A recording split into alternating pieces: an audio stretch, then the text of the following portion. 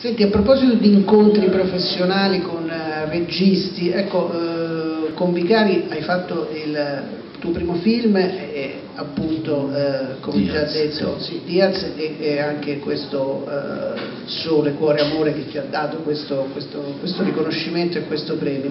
Ci sono stati altri incontri importanti? Eh, registi Sì. In qualche modo hai avvertito che ti hanno fatto crescere nel tuo percorso professionale?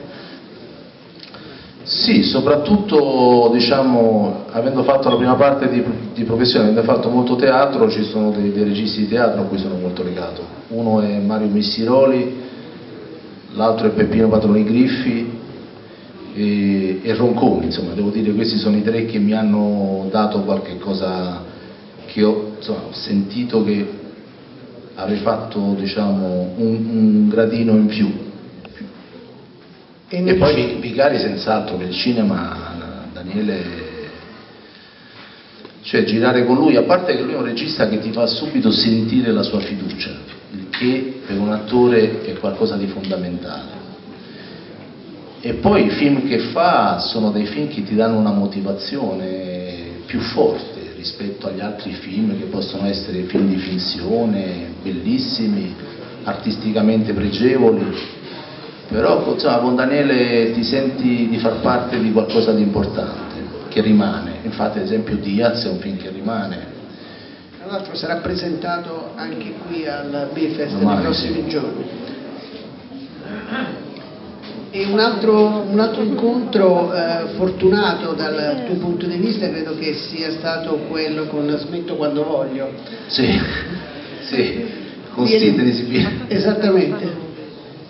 Steve di Sibilia è un fulmine di guerra, è un ragazzo giovane che ha un'esperienza e ha una perizia che io trovo, io, insomma, mi sbalordisce, cioè, è, è giovane, è proprio molto giovane, sembra che, ha- che abbia le ore di volo di un veterano eh, e, e- mette su anche delle, delle inquadrature molto difficili, non so se chi ha visto secondo- la seconda parte di, di Smetto quando voglio, Masterclass, c'è l'inseguimento del treno che è qualcosa di fantastico.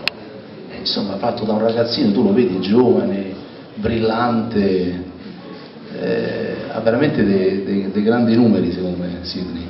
Ed è curioso il fatto che ehm, Masterclass eh, sia stato girato contemporaneamente a un terzo episodio della Esatto, serie. su cui non posso dire e non dirò nulla. No, no, non vogliamo sapere. Ecco, ma l'esperienza di girare, come dire, due film in uno, in una botta sola, cambia qualche cosa nel, nel lavoro di un attore? No, dal punto di vista dell'attore no, dal punto di vista di produzione penso di sì, però no, in realtà no, no, no, no, quando non, non ti accorgi neanche che quella scena sarà sul terzo, non- no, perché tanto poi il personaggio è lo stesso, quindi non- non- tu devi fare quel lavoro lì di, diciamo, dar vita a questo personaggio, poi dove lo metti lo metti, non- a me, non, non ha creato nessun problema.